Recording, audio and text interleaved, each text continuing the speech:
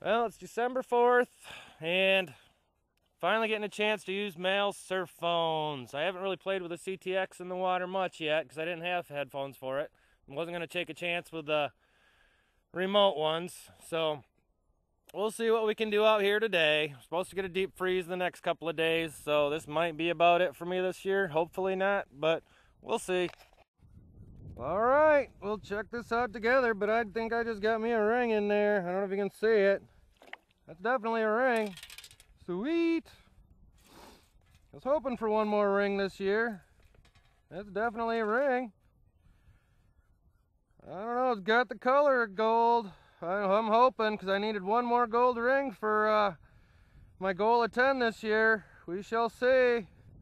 Definitely can't tell right now, but Sweet, ring 78. I'll have to test that one when I get home. It looks like it's been sized. If you look down there, but I'm betting that's gold. I hope so. Sweet, sweet. You're not gonna find it if you don't get out.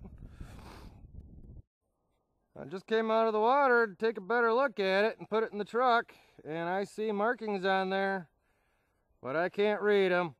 So I'll wait till I get home, put her under the loupe and see what she says. So if it is 10K or something like that and it is gold, that'd be my 10th one and all my goals have been met this year. Sweet.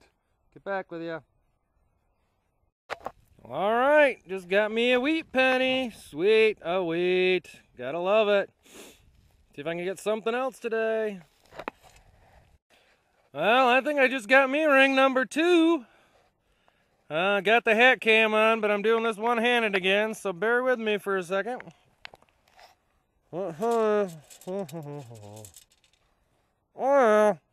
USA. Sweet. Oh.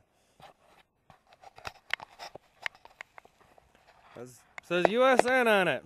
So I'm guessing US Navy. It's got an anchor on it, but sweet. I'm betting that one's silver. So heck yeah, it'd be ring 79. Well, I was getting ready to leave, but I decided to come down here. This is the main beach area, just to see what would happen. Just got out here, and look what I got in the scoop. I got a silver Merc. That's silver 207. Oh, ah, come on, get out of there.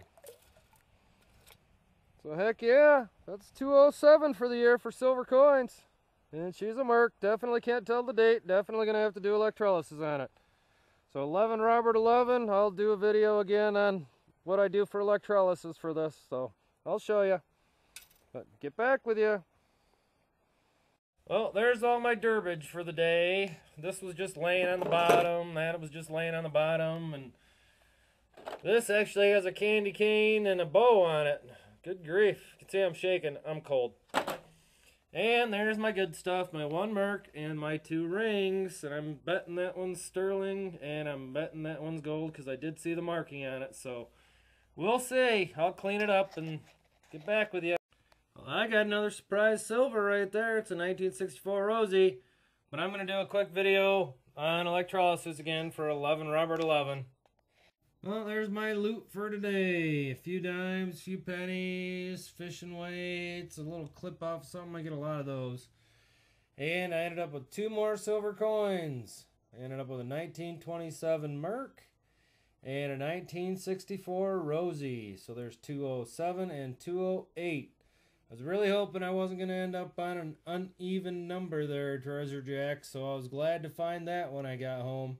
Didn't even know I had that Rosie. So sweet. Always check your coins, especially if you're hunting in the water. And three more wheat pennies.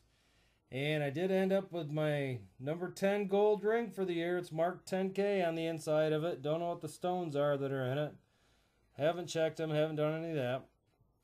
That's ring number 78. And ring 79, which is USN, US Navy. And it's silver. Tested positive for silver didn't clean up like I thought it would, but I think it's been in there for quite a while. So, anyway, happy hunting, everybody. Happy holidays, and hopefully I'll get out again.